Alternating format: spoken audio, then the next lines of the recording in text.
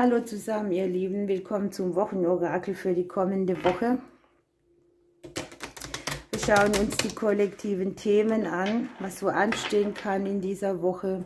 Wenn du noch eine persönliche Botschaft möchtest, bleibe bitte dran.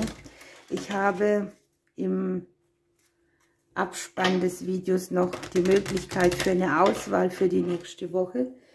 Und alles, was du sonst noch wissen möchtest, findest du unten in der Infobox des Videos. Besuch mich gern auch auf meinem Tageslegekanal, Tagesorakellegekanal. Da gibt es sonntags auch immer die Sternzeichenlegungen ab 15 Uhr. Okay. Es geht um uns die nächste Woche. Es geht um das, dass wir Richtung aufnehmen, dass wir vorankommen, es geht darum, dass uns das Leben vielleicht mit einer Sehnsucht konfrontiert, die wir in irgendeinem Bereich haben. Möglicherweise entdecken wir hier irgendetwas, was sehr unseren Sehnsüchten entspricht. Der ein oder andere kann sich auch auf eine kurze Reise begeben oder einen Kurztrip planen. Und es wird hier sehr spannend und geheimnisvoll irgendwie, ne? Es kann sein, wir haben hier ein bisschen häusliche Unruhe. Das heißt, im Umfeld ist vielleicht einiges los oder wir fühlen uns gestresst oder es gibt nervende Situationen um uns herum. Ja, und das ist jetzt ganz schön. Wir suchen nämlich einen Weg. Ähm, der irgendwie einen totalen Umbruch mitbringt. Es kann hier auch sein, dass es ein Weg sein wird, den man zum zweiten Mal beginnt. Also man hat etwas schon mal probiert, es hat sich nicht geöffnet und hier besteht die Möglichkeit, dass es doch jetzt möglich sein könnte. Ich habe hier für uns die positive Nachrichten, Nachrichten, die Glück bringen, Nachrichten, die uns Hindernisse überwinden lassen. Das kann ganz plötzlich und unerwartet irgendwie sein und aus einer Richtung auskommen, an die man jetzt nicht denkt. Ne? Die Sonne liegt hier im Haus der Blumen drin. Wunderschön. Es ist eine kreative Energie. Das ist eine Energie, da gibt man das rein, was man zum Aufblühen braucht. Da ist praktisch sozusagen Photosynthese für die Dinge, an denen wir arbeiten. Wir haben hier im Hause des Kindes den Ring drin. Also es kann schon darum gehen, dass ich die nächste Woche Verträge aller Art auf den Weg machen kann, hier auch am häuslichen Bereich sein, dass man in Beziehungsdingen neu startet, dass man an sich guckt, wo er, erhelle ich meinen Alltag, wo gebe ich die Sonne auf das kleine Glück. Die Beziehungsdinge stehen hier unter einem guten Stern. Allerdings kann es sein, dass irgendwas so ein bisschen mit Aufregung mitschwingt, ne? Bei, im Beziehungsleben, im verbindlichen Leben, in dem, was man so um sich rum an Beziehungen überhaupt hat. Es eröffnen sich Dinge, äh, die geben da eine andere Richtung rein, wo man, ich sag mal, zu viel Vertrauen in etwas gesteckt hat, das sich nachher nicht als richtig erwies. Also möglicherweise ist das, was ich hier schon angedeutet habe, es wurde schon mal versucht, ein anderer Weg zu gehen und da ging die Türe nicht richtig auf und jetzt kommt hier so der Moment, wo man erkennt, aha, ähm, dann da und da ist eine Kleinigkeit, die habe ich übersehen, ich probiere es nochmal. Und auf dem Ring liegt dann da auch das verbindliche Glück drauf. Und es ist sowas wie eine Erleichterung oder sogar ein kürzerer Weg. Es kann ja sein, dass die Woche sehr, sehr erkenntnisreich ist, mit sehr viel Wachstum verbunden. Ne? Wir haben hier schon in der Vergangenheit sehr viel gelernt, das wir für diese Woche nutzen. Wir gucken hier aus dem Bild raus, das heißt, wir gehen auch irgendwo in eine neue Phase, wir lassen etwas erblühen. Wir haben im Hause der Veränderung dann sogar noch den Schlüssel drin. Also Veränderungen, die wir vielleicht auch schon lange her hervorrufen wollten, wo kein Weg aufging, wo den Weg, den wir gewählt haben, vielleicht nicht ans Ziel gebracht hat, nennen wir es mal so.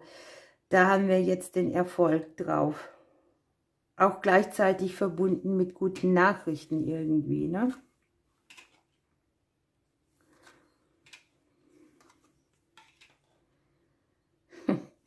Okay, ähm, für einige von uns mag es sein, dass sie hier auch im Beziehungsleben eine kleine Wende brauchen.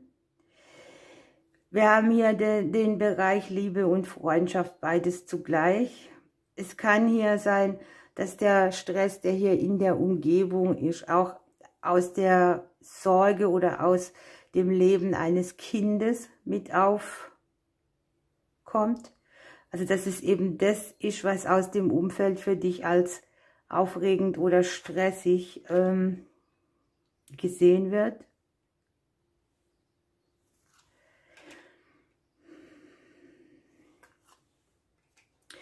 Möglicherweise möchte ein Kind von dir einen Neubeginn starten, mit dem du gar nicht so zufrieden bist, weil du dir denkst, hm, das bringt doch nichts oder das führt in die nächste Verstrickung rein oder so. Aber wenn das bei dir so ist, dann gebe ich dir hier mit, dass praktisch die Person, um die es hier geht, die versucht gerade Hindernisse aus dem Weg zu räumen und sucht deshalb neue Wege und ähm, versucht sich auch neue Türen zu öffnen. Und das kann für dich so ein bisschen, naja, nenn es konfus sein, aber denk dann immer dran, die Kinder müssen auch ihre eigenen Erfahrungen machen ob es uns passt oder nicht, steht mal wieder auf einem anderen Blatt. Wir können hier Ratgeber sein oder so, aber wir können die Situation nicht wesentlich verändern. Es gehört hier zum Weg des Kindes. Auch da Möglichkeit, dass mal eine Tür zugegangen ist, die jetzt wieder aufgeht oder eine Idee, die jetzt wieder ähm, auf den Bildschirm kommt. Für alle Singles kann es hier sehr gut sein, dass ihr vielleicht ein potenzielles Gegenüber habt, mit dem ihr freundschaftlich verbunden seid. Und es ist jetzt hier eine Möglichkeit, neu in neuem Format aufeinander zuzugehen. Also aus Liebe wird Freundschaft oder so. Oder aus Freundschaft wird Liebe. Und das ist auch eine ganz gute Woche, dass man hier Einflüsse überhaupt ähm, im Beziehungsleben auf einen neuen Weg bringt. Genau, es geht darum, im verbindlichen Bereich aufzuräumen, Klarheit zu haben, Hindernisse auf dem Weg, aus dem Weg zu räumen, neue Türen zu öffnen, Möglichkeiten zu nehmen, die man bisher nicht angedacht hat.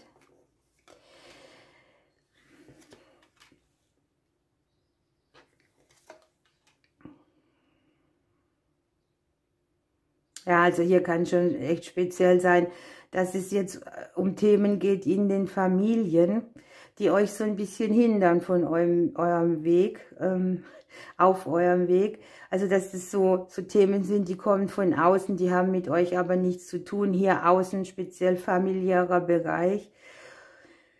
Und für euch geht es darum, da bei euch zu bleiben, euch in dieser guten Energie auch, die euch umgibt, vorsichtig weiter zu bewegen. Ne?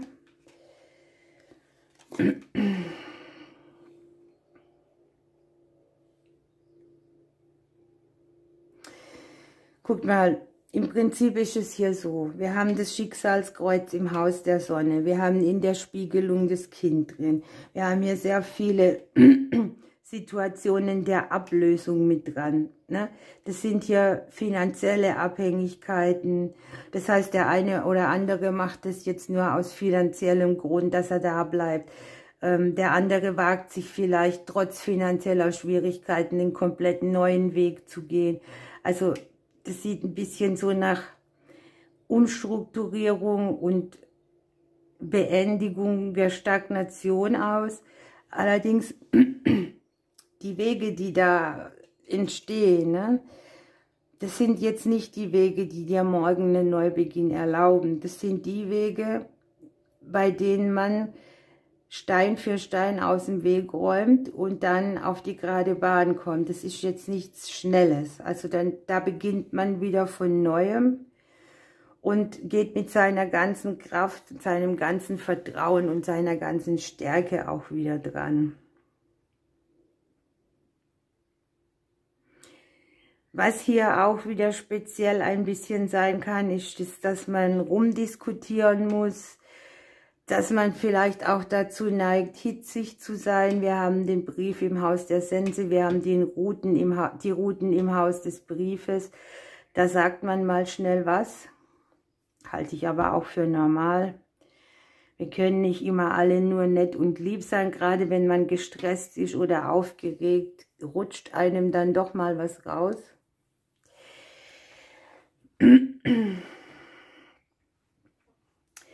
Diese Woche ermöglicht dir, in eine Bewegung zu kommen, die dir viele Verluste der Vergangenheit, ich würde mal sagen, aus dem Kartenblatt schwemmt. Ne?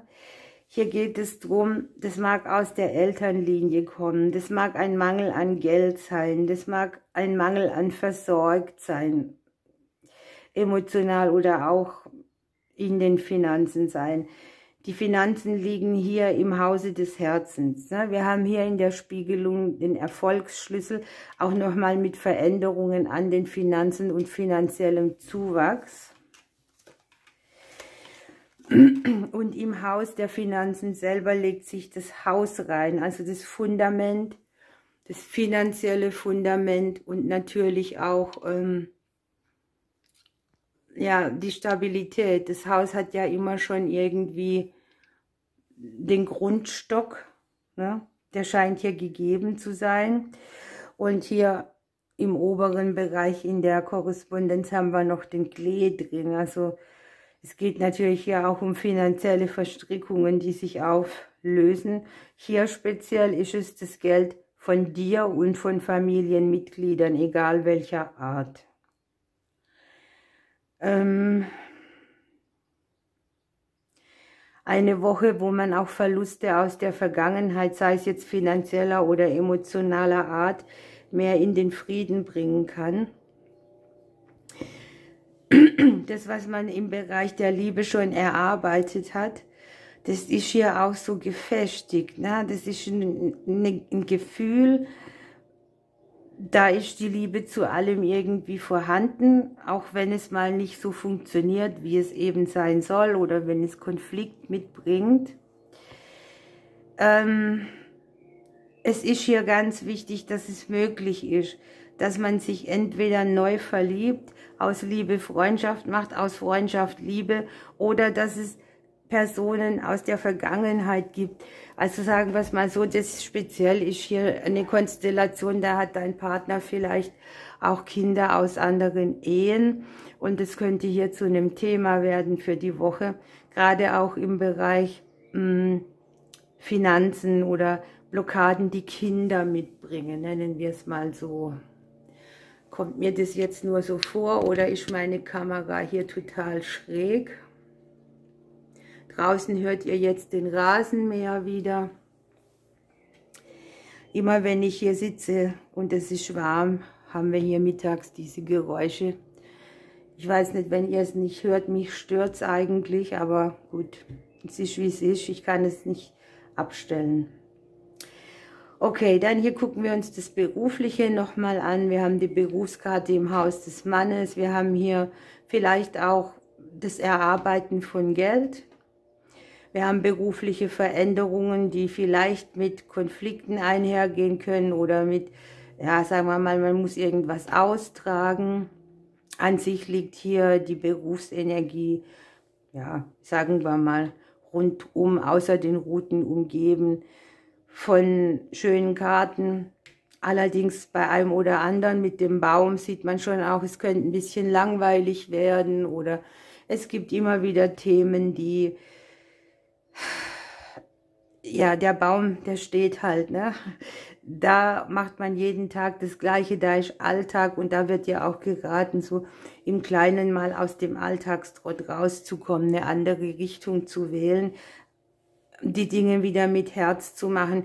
Ich sehe, dass wir hier sehr viel gebende Energie haben auf dem Bereich der Arbeit, aber auch wieder hier so die, die, den glücklichen Ausgleich. Bei uns im eigenen Haus liegt der Baum drin, also es geht um Wachstum, es geht vielleicht auch um das Thema Vitalität, wie fühle ich mich, wie geerdet bin ich. An sich liegt darum aber auch der Frieden und das Wohlfühlen. Das Schicksal schickt uns hier Einflüsse, die kommen von außen, Veränderungen, die von außen kommen die eine neue Richtung ermöglichen, die liegen hier sehr positiv. Also ich habe auch die guten Nachrichten an sich dabei. Du kannst hier alles, was nach Verlust geklungen hat oder dich lange beschäftigt hat, mehr in den Hintergrund stellen und dir mehr so dein Fundament angucken und sagen, okay, an dem Punkt bin ich wo darf sich jetzt noch was weiterentwickeln, wo brauche ich noch Wachstum, wo bin ich mir wichtiger als mein Umfeld, wo darf jeder aus meinem Umfeld die eigene Verantwortung übernehmen. Und dir wird hier auch direkt gesagt, dass es irgendwelche Sachen gibt, die dich vielleicht aus dem Umfeld blockieren können. Da guck, dass du selber in Bewegung und auch in Fahrt bleibst hier sehr viele Prozesse wieder, ne, wo man sagt, hier reife ich, hier, hier verstehe ich etwas, hier kann ich etwas, was mich drückt, was mich Energie gekostet hat, ähm, ablegen. Und zugleich habe ich hier sowas wie einen schicksalshaften Neubeginn, der aber auch erst wieder so im Kopf entsteht. Also während wir hier unser Bötchen lenken, kommen wir auf eine Idee, ähm, was wir, wir im kleineren Bereich auch nochmal verbindlich verändern wollen. Ich sehe auch die Konfrontationen, die es hier geben kann mit Menschen aus der Vergangenheit. Die schmeißen dich hier nicht um. Im Gegenteil, du stehst hier wie der Baum. Ne? Da gibt es ein Sprichwort, aber das möchte ich jetzt gar nicht wiederholen. Aber ich glaube, das heißt in ungefähr so viel wie, was juckt es eine Eiche, wenn sich ein Schweinchen daran reibt? Und ich glaube, um sowas geht es. Ne? Du kannst ja abchecken, wie weit du schon gekommen bist. Du lässt dich vom Außen nicht, du lässt dir von außen nicht dein Fundament unter den Beinen wegziehen und kannst für dich verbindlich Dinge so stehen lassen, wie sie eben sind und ein Stückchen mehr in deine Sachen investieren.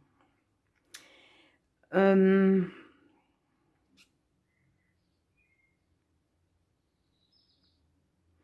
möglicherweise, das hatte ich jetzt hier auch schon, glaube ich, mehrmals, ähm, zeigt sich hier ein Mensch,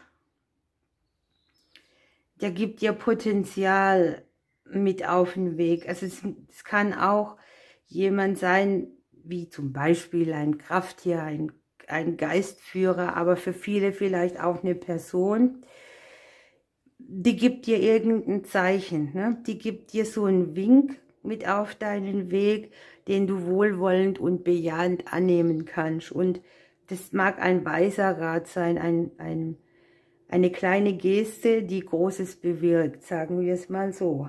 Die den Frieden in dir und die Harmonie auch so auslöst.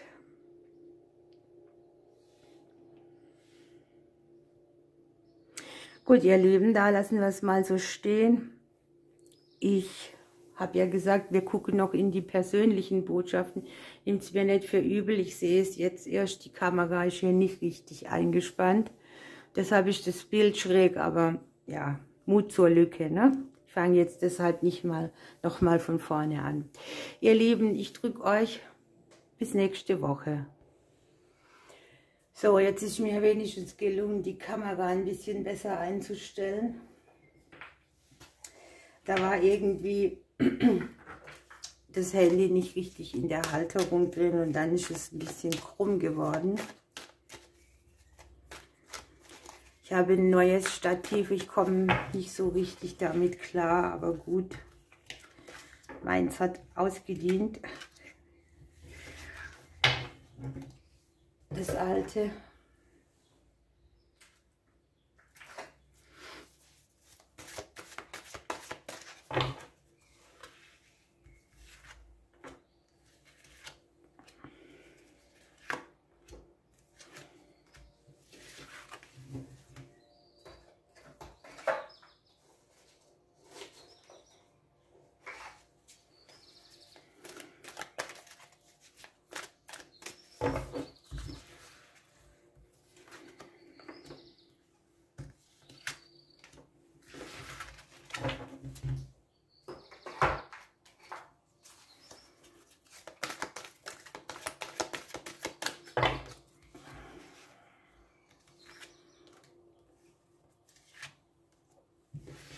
Okay, ihr Lieben, wir lassen es dabei. Sucht euch eine Seite aus oder die Farbe des Buddhas, keine Ahnung.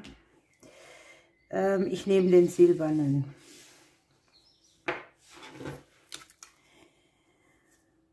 Okay, wir haben den Hüttensänger, das ist ein Vogel, der steht hier für das Thema Fröhlichkeit. Und diese Karte, haltet euch fest, ist tatsächlich ein Omen der Freude, der Feiern und des Spaßhabens. Hier soll man das Hier und Jetzt bejahen. Äh, den Zweifeln erlauben, sich aufzulösen. Das hatten wir ähnlich im großen Blatt. Und wir sollen auch nicht unglücklich sein, nur um dass wir anderen gefallen. Wie auch immer es gerade ist, es gibt immer etwas, was Freude bereiten kann und auf das, wo du deine Aufmerksamkeit drauf lenkst, wird sich auch vergrößern. Also hier speziell wird auch gesagt, guck mal auf die Bereiche deines Lebens, die dich glücklich machen, um genau da auch die Vergrößerung reinzukriegen. Ähm, ja, der beste Weg zu wahrem Vergnügen ist, oder der schnellste, dass man teilt und weitergibt dass man Dinge verschenkt, dass man sein Herz verschenkt, dass man die Liebe mit anderen teilt oder eben auch die Freude oder das Fröhlichsein. Also das Leben wieder bejahen und die Zweifel mehr beiseite lassen, wird hier zum Thema nächste Woche. Ja, wunderbar. Wir haben hier einsteils eine Situation, die lässt uns alte Lasten und Gewohnheiten aus dem Leben nehmen hier steht jetzt Schulden bezahlt, kann natürlich auch möglich sein, dass du dich einer Last entledigst, vielleicht auch einer finanziellen.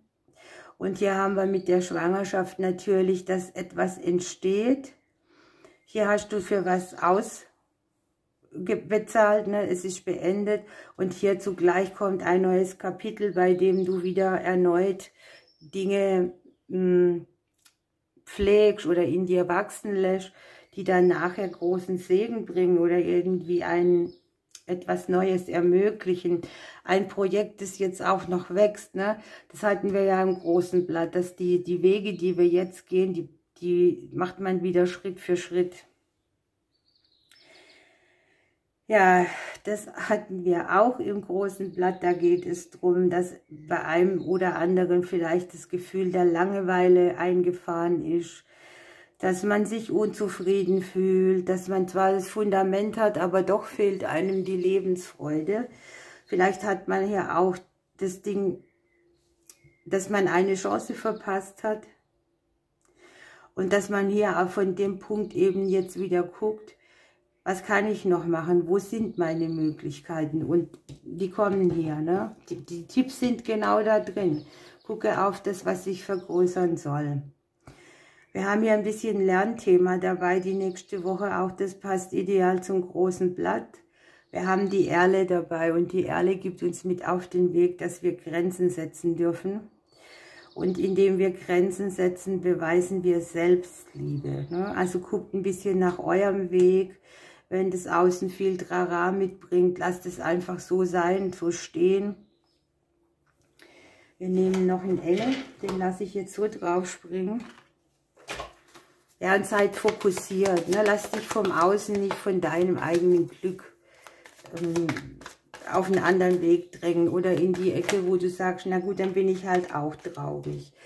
Hier ist hier der Engel der Sorglosigkeit rausgehüpft oder rausgefallen.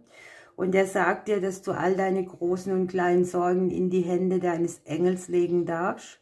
Deine Sorgen und Ängste anvertrauen, spüren, wie du abgibst, wie das immer kleiner wird, wie sich Schwierigkeiten auflösen und wie es wieder Lösungen gibt und Wege, die eben auch möglich sind, die Schönheit des Lebens zu genießen. Wunderbar. Dann gucken wir den anderen an.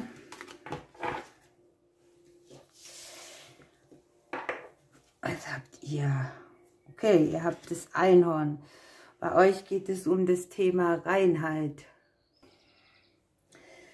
Spannend, denn auch das hatten wir im großen Blatt, dass wir uns von Dingen, die in der Vergangenheit liegen oder nennen es die Brille der Vergangenheit, nicht mehr so beeindrucken lassen.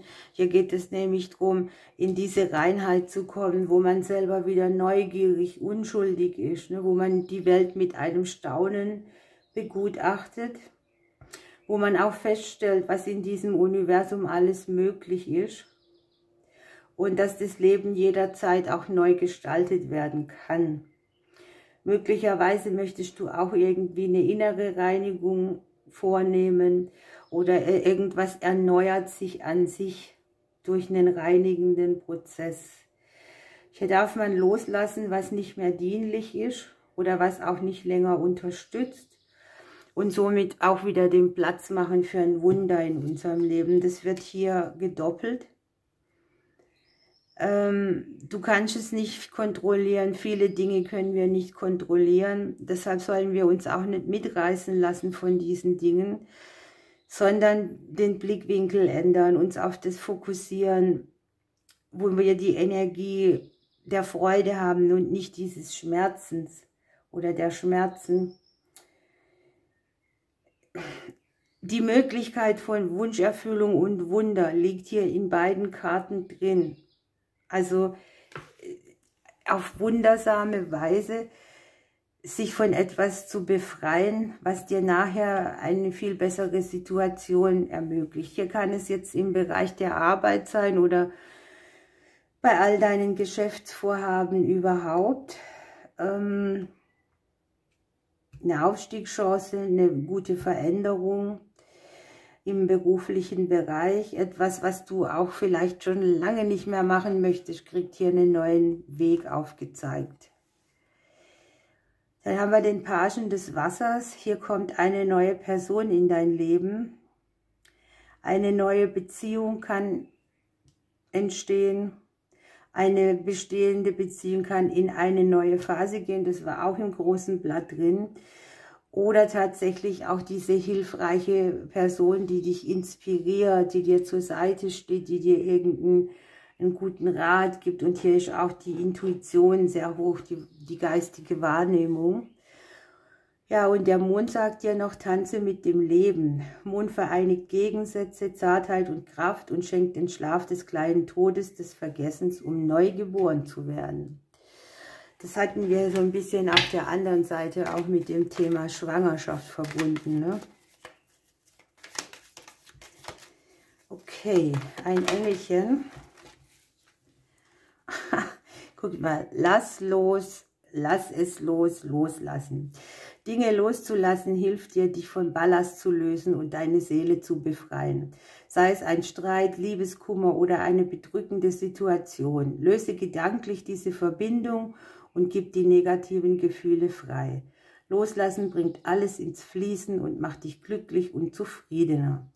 Dein Engel wird dir dabei helfen, dich von Dingen oder Menschen zu trennen, die dir nicht gut tun. Also hier Erneuerung, Reinheit, Aufschwung, fokussieren auf reine Dinge, auf Neugier und nicht auf die Schwere.